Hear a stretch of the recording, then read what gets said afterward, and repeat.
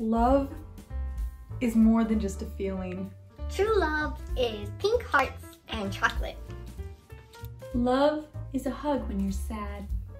Love is spending the early morning hours on your 20 foot fishing boat with your 120 Yamaha outboard motor and your wife.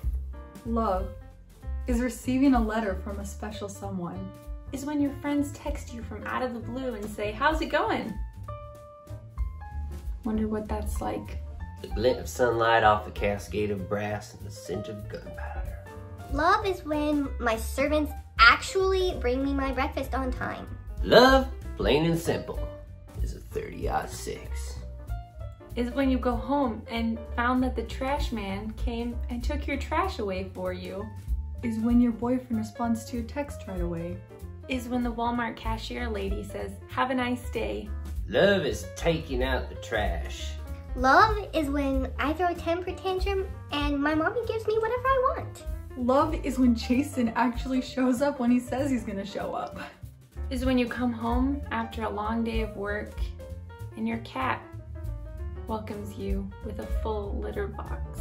Love is when my daddy got me a little pony, even though I don't know how to ride. Sitting in the kitchen, having grits and corn chowder. Is when your family forgets that you exist, but they apologize. Love is when you don't have to wait in front of a restaurant for two hours in the freezing cold rain just because someone stood you up. Love is when I steal a chocolate bar from the convenience store and my mom looks the other way. chugging black coffee with engine oil. Love is when your coworker sees you crying at your desk, but pretends like they didn't notice. Thank you, Carol. Is when you ghost someone and they don't key your car. Love is when I punch the stupid neighbor kid and my mom cleans up the blood and doesn't tell on me. Is when it's Valentine's Day again for your 30th year of life and you're still alone. Love is when Jason remembers that it's Valentine's Day.